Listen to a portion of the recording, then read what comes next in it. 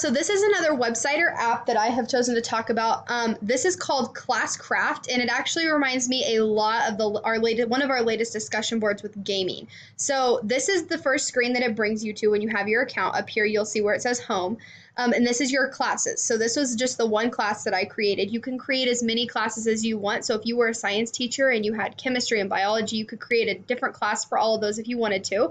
Um, basically, the point of this game is just to motivate kids to um, to get their work done and to have good behavior in class. So um, I tried to assign students, and I think it's going to be easier if you go over here. It says demo class. You can actually explore the demo class, and it teaches you lots and lots and lets you kind of walk through that without um, assigning any of your own students. There's also lots and lots of tutorials off to the side that you can watch. How it works, setting up your classes and introducing students to it. When I first signed up, there was a number of videos that you could watch as well. So I'm going to go over here to the demo class and kind of walk you guys through what I saw.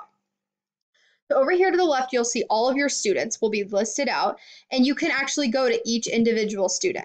So each student can actually create their own character, and there's so many things that they can do. So if you look here, we have HP, AP, XP, and GP. So these are basically all just um, a different number of um, coins or stars or points that they can actually receive. So um, you actually will assign these based on different things. So like HP might be for good behavior, AP might be for a good grade, and so on. So you actually will push, um, in order to assign these, you'll just push the plus sign when you push the plus sign up here, it says positive behaviors, and you can create how you can completely name all this whatever you want. And then it kind of tells you um, completing online activities, and you can give them this many XP points or this many GP points.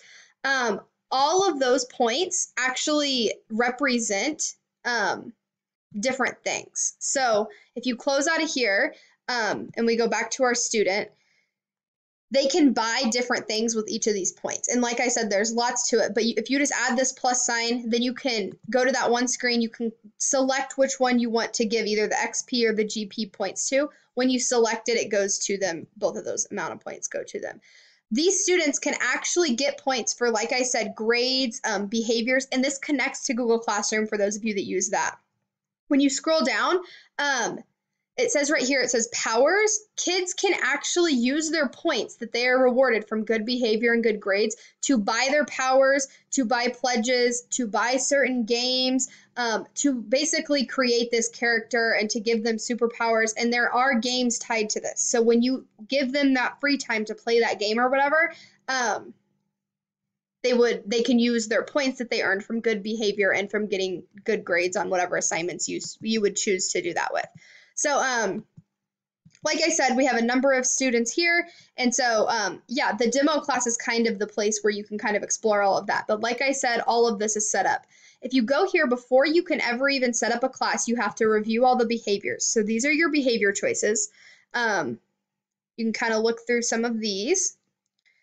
Then you also need to look through, these are the negative behaviors. So they would actually lose so many points for all of these. Um, when you actually give this to them, when you give them this feedback um, and take away those points, you can actually type out specific messages as to why they lost those points so they can see that. When you give them points, you can also type out the specific feedback as to why they received those points. So it's very one to one with each student. And I just overall, when I saw this, I thought a lot of that gaming discussion board that we did and how this would work very well for especially some of those high school kids. A great motive for schoolwork and um, and just get just getting that work done and having those awesome behaviors that we look for. Um, and it's also a huge motive for them because of the gaming side of things and their ability to express themselves. So, like I said, lots of components here, but this was again called Classcraft.